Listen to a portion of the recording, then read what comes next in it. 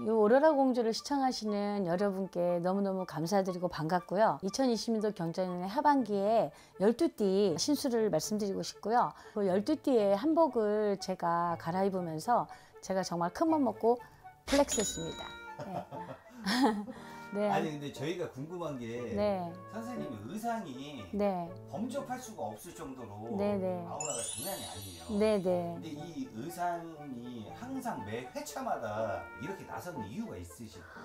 오로라 공주가 사실 신비하잖아요. 그래서 신비주의로 가려고 제가 이 마스크를 쓰기 시작했고 중요한 건 아, 여러분이 저의 그 오로라 공주라는 이 컨셉을 보고 좀 특이하다 아니면 등등 뭐 진짜 오로라 공주 같다는 그런 얘기도 듣고 싶고요. 아 제가 워낙 옷을 좋아하고 제 꿈도 디자이너였었는데 이제 무용 쪽으로 갔거든요. 그래서 이렇게 옷을 컨셉을 잡으면서도 또 그 대리만족이라는 거 있잖아요. 여러분들도. 네. 그걸 좀 선사하고 싶고 보는 재미. 또 우리나라 한복이 이렇게 아름답다는 걸 보여드리고 싶기도 해요. 유튜브를 보시는 모든 시청자분들이 제 그 오로라 공주 12띠 이거 신수를 보면서 재밌고 유익하고 또 보람 있었으면 합니다. 네, 이- 감사합니다. 이것도, 이것도 다 flex 해야 되겠죠? 네, flex 하세요. 아, 네.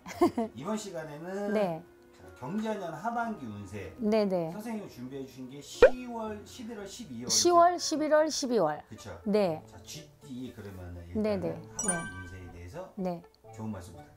네. 1996년 25살 병자생의 10월 달의 운세입니다. 의식이 풍족하니 매사가 유혹이 넘친답니다. 그리고 경영하는 사업이 발전하면서 뜻밖의 기운의 도움도 받을 수 있고요. 직장인의 승진운이 있고 예술이나 기술 그런 사람들에 종사한다면 왕성한 창작력이나 호운을 도래하는 시기이기도 합니다. 10월달 자체는 그래도 운세 자체가 좀 평탄하다고 봐야 되겠네요. 11월의 운세예요. 노력은 많이 하나 성과가 좀 부족하대요. 그러면 아무래도 의기소침하시겠죠? 힘을 내세요. 주변에 소인이나 나를 해치려는 사람이 있으니 대인 관계에서는 항상 언행, 그러니까 말과 행동을 잘못하면 구설도 낄 수 있으니까 조심하라는 운세고요. 시험에 합격할 운이 강하며 입시나 새로운 직장을 구해 그러니까 이직을 할 수 있는 그런 겨- 좋은 결과가 있을 시기이기도 하고요.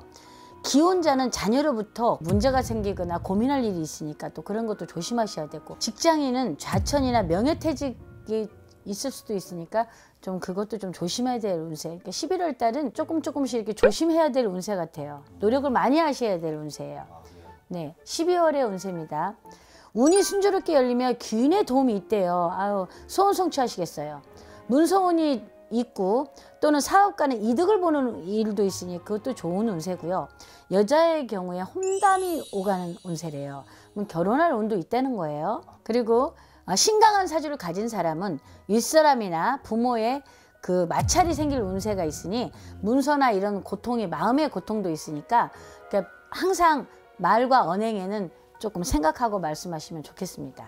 37살 갑자생 쥐띠의 10월 달의 운세입니다. 집안에 경사가 있을 운이며 가문을 빛낼 일이 있대요. 어우, 그건 정말 좋은 운세 같아요. 직장인이나 공직자는 등급이 올라가고 자연히 재물이 쌓일 운이래요. 그것도 괜찮고요. 어떤 일이 많이 인정하는 공적을 세우거나 새로운 사업에 착수할 수 있는 시기이기도 합니다. 여자의 경우에 혼인에 관계하는 일에는 모두 길하답니다. 11월의 운세입니다. 뜻하지 않은 곳에서 재물이 생기기도 하고요. 창업에 좋은 시기랍니다. 직장인은 신임을 얻고 인정을 받을 운이기도 하고요. 그런 모든 어려운 상황에서도 본인이 노력 여하에 따라서 또 승진도 할 수도 있고 여자의 경우에 시- 사주가 신약하다는 뜻은 좀 마음이 여리거나 할 경우에는 남자한테 뭐, 뭐 예를 들어서 놀림을 당할 수도 있고 아니면 수치를 당할 수도 있으니까 여자인 경우는 11월 달은 남자를 좀 조심하셔야 될 운 같아요. 그럴 수도 있고요. 네네. 12월의 운세예요. 직장이나 가정에 좋은 운이 들어올 수 있고요. 매사가 모든 일에 순조롭대요. 아우, 정말 이건 좋은 것 같아요. 큰 재물이나 이득을 얻을 수도 있대요. 그리고 미혼 여성을 만나는 사람끼리 혼담이나 친척 간에 혼례를 치를 수 있는 어 이것도 운세는 12월의 운세는 그래도 평탄하고 좋은 것 같아요. 72년 49살 임자생의 10월 달의 운세입니다. 몸에 잔병이 생기거나 문중에 상복이불 그러니까 부모가 돌아가신다든가 주위 분들이 돌아가실 상복운이 있으니까 그것도 좀 살펴보셔야 될 것 같고요. 새 사람과 좋은 인연을 맺거나 막혔던 관제나 이런 것도 순수 관제 구설 같은 거 있잖아요. 네. 관제 그런 것도 풀릴 것 같고요. 그다음에 사주가 신약하면 문서운도 있고 신강하면 보증이나 윗사람을 조심하셔야 됩니다. 11월의 운세입니다. 호사다마 좋은 일에는 마각기니까 호사다마의 운세이기도 하고요. 문학이나 학문과 관계 있는 사람은 길한 일이 많답니다. 그리고 사주가 신약하면 문서운이 따로 귀인의 도움도 있답니다. 12월의 운세입니다. 겉으로 보기에는 좋지만 속으로는 허망한 꿈도 꿀 수 있답니다. 그러니까 겉으로는 지금 운세 자체가 막 이어가지만 또 남들이 볼 때는 허울만 좋을 수도 있어요. 그러니까 내실을 다지라는 뜻입니다. 좋은 개살구네. 네, 내실을 다지십시오. 네. 참고 인내하면 분명히 좋은 결과를 낳는 시기랍니다. 네. 그러니까 노력 여하에 따라서 내가 제가 얼마나 노력하는 거에 따라서 좋은 일이 있을 수 있고 개업이나 확장은 불길하며 지금 현 유- 유지를 하는 게 최선의 방법이고요. 합작이나 동업은 그래도 길하답니다. 그리고 사주나 신약한 사람은 이성이나 돈으로 인해 구설이 생길 수도 있으니까 이성 문제에 대해서는 조심하셔야 됩니다. 1960년 61 경자상 주띠의 10월 달의 운세입니다. 가까운 사람으로부터 사기나 배신을 당할 수가 있으니 조심하셔야 되고요. 동업이나 사업의 확장은 좀 불리하답니다. 이 시기에는. 그리고 길흉이 극과 극이 이렇게 마찰이 되니까 아무래도 돌발 사고도 일어날 수 있고 좋은 일과 나쁜 일이 겹치기 때문에 이 시기에는 정말 조심하셔야 되고요. 여자는 남자가 오는 시기나 유부남의 유혹 같은 것도 있을 수도 있고요.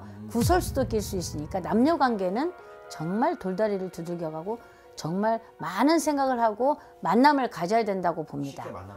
그럼요. 11월의 운세입니다.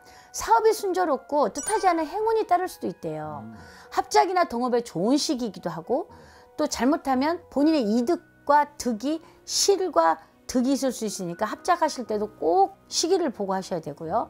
기회를 가진 사람은 자기의 능력을 마음껏 발휘할 수 있는 시기이기 때문에 시험운이나 승진운도 있답니다. 12월의 운세, 운세입니다.